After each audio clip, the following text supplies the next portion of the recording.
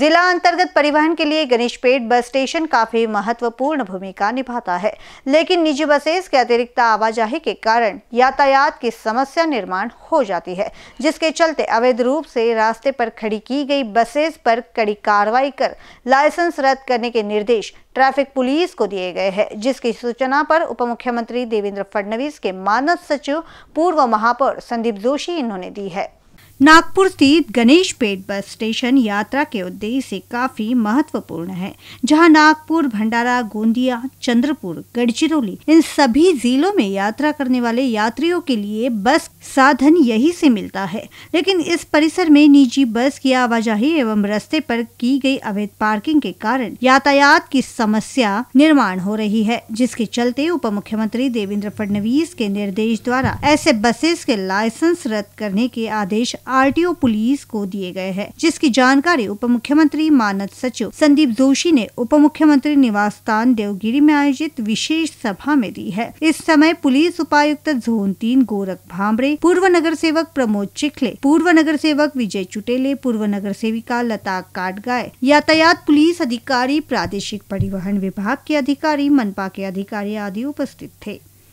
Camera person राजकुमार मोहड़ के साथ Manish Temre B news Nagpur.